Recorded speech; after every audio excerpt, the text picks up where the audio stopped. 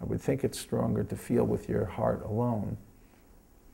And in a way it is, because you just, it's the passion of the, of the, of the thought, of the, of the heart unchecked by the intellect. But when you combine the intellect, the thoughts, the higher level thoughts, with an emotion, if you combine those two things, what will end up happening is that the intellect will integrate itself into the emotions. And therefore, it won't fade as quickly. The feeling won't fade. If I just feel something, almost like a compulsive feeling, even if it's a spiritual feeling, it means it has a certain limitation.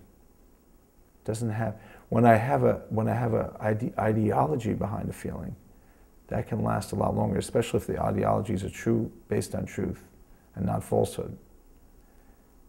It's like if you see somebody and they look beautiful and you feel right away something, but you don't know them.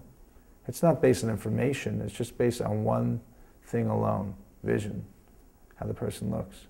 And you could be imagining in your head how great they are and how beautiful a person they are, but you don't really know that.